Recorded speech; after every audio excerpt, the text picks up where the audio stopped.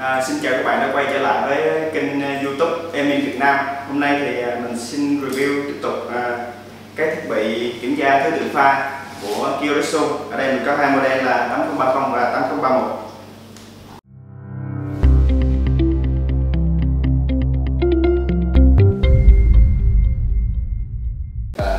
À, các thiết bị chỉ thị pha của Kyoritsu tuy rất nhỏ gọn nhưng lại cực kỳ hữu ích trong việc xác định thứ tự pha khi à, lắp đặt động cơ ba pha à, sau đây mình sẽ khui hộp và thiết bị của hai thiết bị này.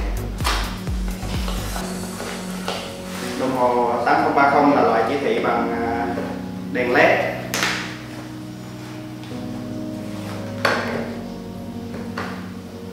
Và loại đồng hồ chỉ thị của 8031 thì sử dụng đĩa quay.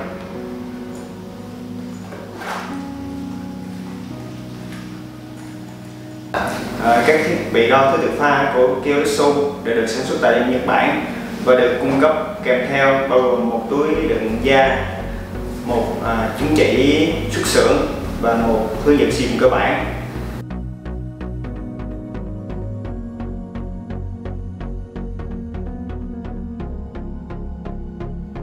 À, sau đây mình xin hướng dẫn sử dụng cách dùng thiết bị này. Đối với động cơ ba pha thì à, thông thường ba cuộn dây đặt lịch à, nhau một góc 120 độ và các cuộn à, đều có một điện áp gần như bằng nhau đối với cả ba cuộn. Và việc kiểm tra thứ tự cho từng cuộn dây rất là cần thiết.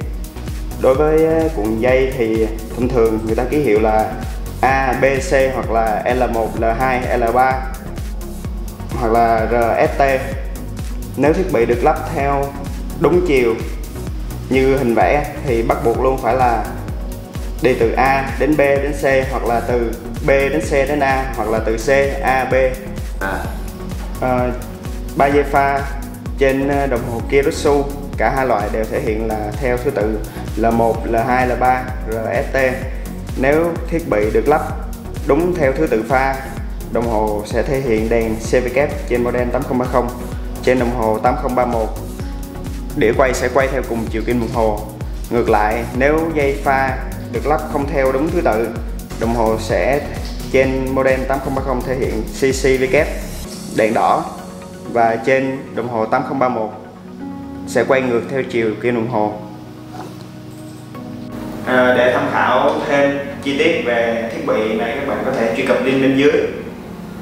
Xin chào và hẹn gặp lại.